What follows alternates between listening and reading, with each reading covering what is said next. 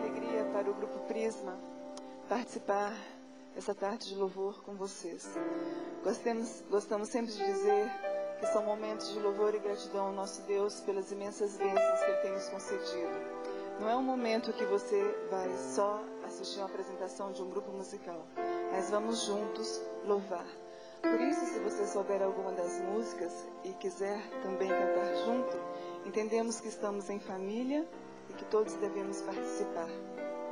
Cremos que está muito próximo o tempo que vamos ver Jesus face a face.